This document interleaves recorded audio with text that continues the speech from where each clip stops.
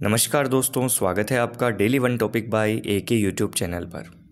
Rousseau के जीवन परिचय को हम इस वीडियो नोट में देखेंगे। वीडियो शुरू करने से पहले आपसे रिक्वेस्ट है, यदि आपने चैनल सब्सक्राइब नहीं किया तो सब्सक्राइब ज़रूर कर लें। साथ में टेलीग्राम चैनल का लिंक डिस्क्रिप्शन में, उसे ज्वाइन कर लें। प्रीवियस वीडियोज़ को एक प्लेलिस्ट में ऐड कर दिया गया है, उस पर क्लिक करके आप ज़रूर देखें। चलिए शुरू करते हैं आज का ये वीडियो नोट। अच्छा लगे तो लाइक शेयर कमेंट कर दीजिएगा। और शेयर तो आप करते ही हैं। रूसो को हम देखें तो रूसो का सामान्य जो जीवन परिचय है, उसके बारे में हम इस वीडियो नोट में देखते हैं। जैसा कि दोस्तों हमने इससे पहले होप्स और लोक के बारे में अध्ययन किया, वहाँ भी हमने समझौता सिद्धांत को पढ़ा था, सामाजिक समझौता सिद्धांत को पढ़ा था। यदि आपने पढ़ा है मेरे साथ तो। तो सामाजिक समझौता सिद्धांत की जब हम बात करते हैं तो हमें तीन नाम एक साथ लिए जाते हैं हॉब्स लोक और रूसो, जिसमें हॉब्स और लोक के बारे में हम देख चुके। उनके द्वारा बताए गए मानव स्वभाव, प्राकृतिक अवस्था, समझौता क्यों हुआ, कैसे हुआ, क्या ज़रूरत पड़ी सबकी चर्चा हमने कर ली, उनके संबंधित महत्वपूर्ण रचनाओं को भी देख लिया। अब हम देखते हैं रूसो के सामान्य जीवन परिचय को, कि रूसो का जन्म कहाँ हुआ कौन कौन सी परेशानियाँ आई, कब इनके जीवन में बदलाव हुआ और कौन कौन सी इन्होंने अपनी रचनाएँ लिखी। ठीक है, इस इन्हीं बातों पर हम इस वीडियो नोट में बात करेंगे। आगे आने वाले वीडियो नोट में हम रूसों के मानव स्वभाव, प्राकृतिक अवस्था, इन जितने भी पॉइंट्स हैं, सबको अच्छे से आपसे शेयर करेंगे, ठीक है? तो देखिए, सबसे पहले हम बात करते हैं रूसों के जन्म की। तो रूसों का जन्म हुआ 28 जून 1712 को कहाँ पर हुआ? जिनेवा में। रूसो का जन्म 28 जून 1712 को जिनेवा में होता है। रूसो के पिता का नाम आइजैक रूसो और रूसो का पूरा नाम यदि परीक्षा में पूछा जाए तो जीन जैक्स रूसो है, जिसे हम जे जे रूसो कह सकते हैं। Jean Jacques Rousseau. ठीक है? रूसो के पिता जो पिता जो थे जिनका नाम आइजैक रूसो था। इनका चरित्र ज़्यादा अच्छा नहीं था। ठीक? इनकी मनोवृत्ति अच्छी नहीं होने के कारण ये रूसों को ज़्यादा बड़ी शिक्षा नहीं दे पाए। जन्म के शुरुआती दिन काफ़ी संघर्ष भरा रहा रूसों के लिए। माँ का जन, माँ का बचपन में ही छोड़कर चले जाना, पिता के द्वारा रूसों में बुरी भावना का प्रसार करना। बुरी भावना का प्रसार का मतलब ये है कि रूसों के पिता, रूसों से रात रात भर अश्लील कहानियाँ व उपन्यास ज़ोर ज़ोर से पढ़कर सुनाने को कहते थे। और इसलिए वो रूसों को रात भर जगाए रखते थे।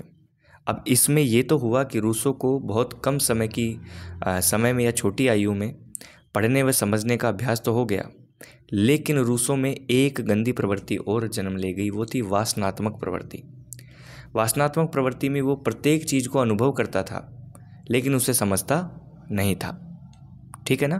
तो जीवन में बहुत बड़ा प्रभाव पड़ा रूसों के द्वारा, रूसों के पिता के द्वारा रूसों की भावना पर बहुत बुरा प्रभाव पड़ा, ठीक है? किसी कारण से रूसों को, रूसों के पिता को वहाँ से भागना पड़ा तो रूसों को किसके पास रहना पड़ा? अपने चाचा के पास में।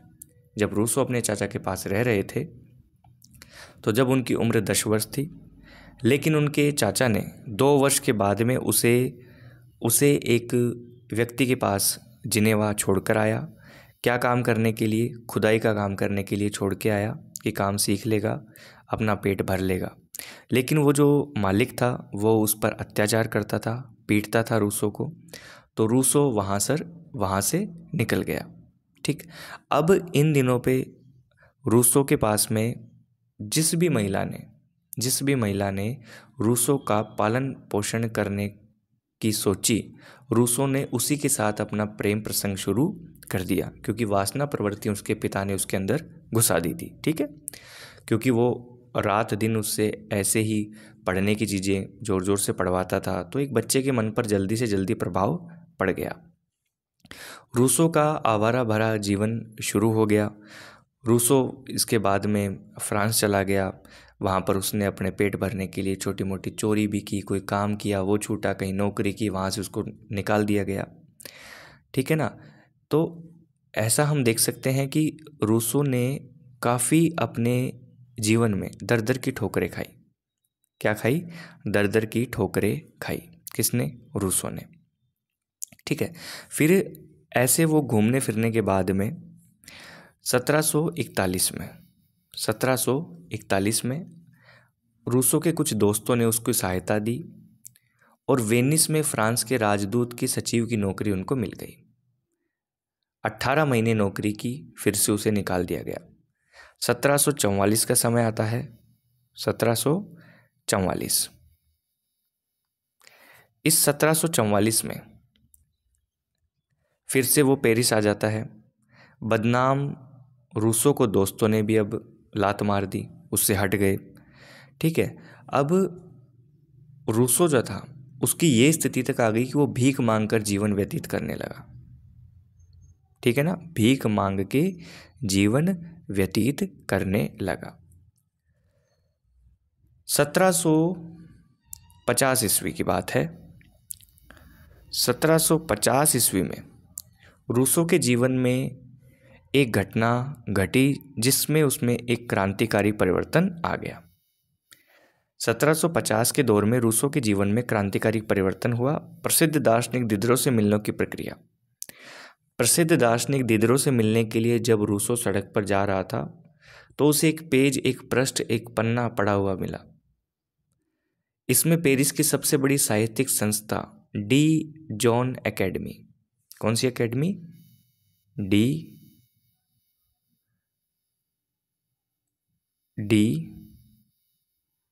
Dijon academy. ठीक है? डी, जॉन एकेडमी की ओर से एक ऐसे कंपटीशन था, निबंध प्रतियोगिता थी। इस निबंध प्रतियोगिता में रूसों ने भाग लिया।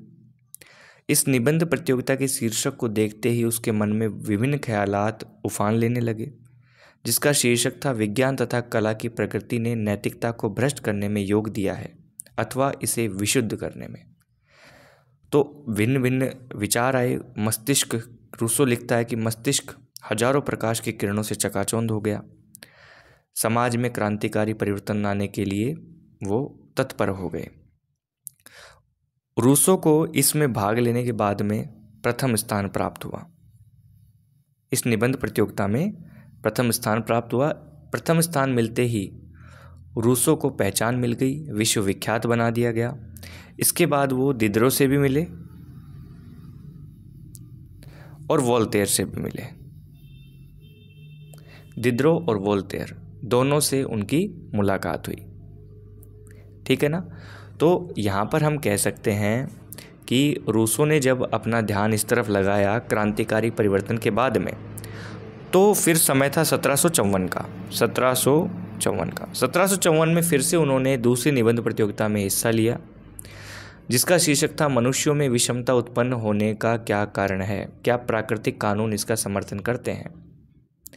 इस निबंध में भी निजी संपत्ति तथा आर्थिक विषमता के कारणों पर रूसों ने प्रकाश डाला।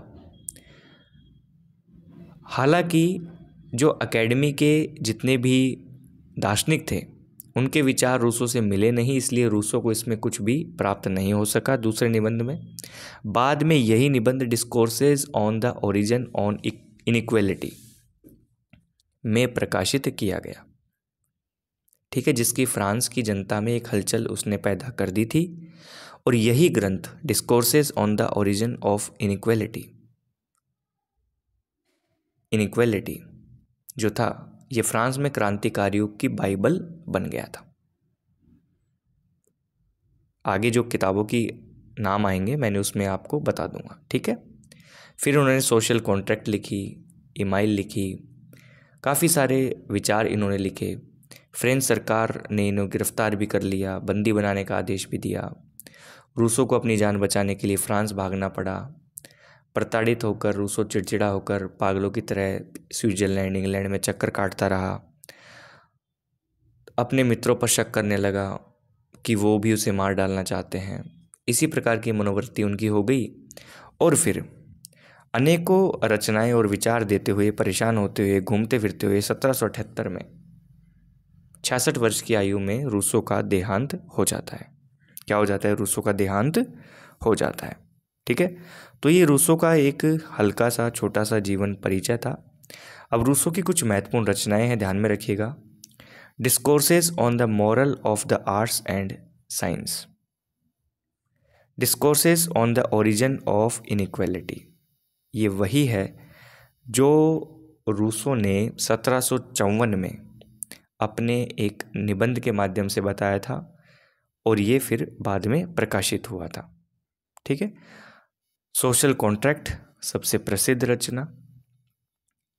राजनीति पर प्रसिद्ध रचना है सोशल कॉन्ट्रैक्ट, ठीक है? ईमाइल जो है, ये शिक्षा पर है। इसका विषय क्या है? राजनीति। इसका विषय क्या है? शिक्षा, ठीक है?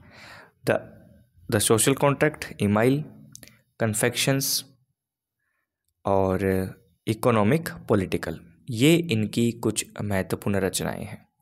ठीक है ना? तो हमने रूसो के बारे में देखा कि रूसो का कैसे जीवन बिगड़ता है और फिर रूसो के जीवन में कैसे अचानक परिवर्तन आते हैं। रूसो निबंध लिखता है, रूसो रचनाएँ लिखता है। रूसो के जीवन में 1750 के दशक में काफ़ी बदलाव आता है, ठीक है ना? और रूसो के जो मन के विचार थे, वो अपने पिता से कितने बुरी तरीके से प्रभावित हुए थे उसी तरह ये दिद्रो और वोल्टेयर से भी प्रभावित हुए और फिर इन्होंने बहुत सारी अपनी ज्ञान की रचनाएँ लिखी। तो राजनीतिक विचार में हम इनके देखेंगे कि रूसों के राजनीतिक विचार क्या थे, रूसों का सामाजिक समझौता क्या था, रूसों का मानव स्वभाव क्या था, है ना? तो सामाजिक समझौते का जो प्रतिपादन रूसो करते हैं, वो किस किताब में करते हैं? सोशल कॉन्ट्रैक्ट, ध्यान में रखिएगा। द सोशल कॉन्ट्रैक्ट में। रूसो अपने सामाजिक समझौता का सिद्धांत का प्रतिपादन करते हैं। रूसो प्रत्यक्ष लोकतांत्रिक राज्य की कल्पना करता है, जिसको अभी हम आगे देखेंगे, ठीक है ना? और चलिए, इस वीडियो नोट में इतना ही, मिलते हैं नेक्स्ट वीडियो नोट में। मानव स्वभाव, प्राकृतिक अवस्था, समझौते के कारण, इन सभी टॉपिक्स पर हम चर्चा करेंगे। आई होप आपको ये वीडियो नोट अच्छे से समझ में आया होगा। परिचय के ऊपर था। कुछ महत्वपूर्ण रचनाओं के ऊपर था आपको टॉपिक से जोड़ने के लिए था सिंपल लैंग्वेज में था, इतना कुछ देखा, सुना, समझा तो लाइक बनता है और लाइक आपने कर भी दिया होगा। शेयर भी कर दीजिए अपने हर ग्रुप में टेलीग्राम चैनल पर इसका लिंक आपको मिल जाएगा और वीडियोज़ का भी मिल जाएगा। Thank you so much